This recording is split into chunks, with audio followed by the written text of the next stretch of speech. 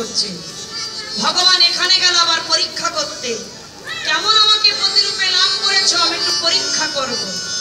বাবা তো সোজা না।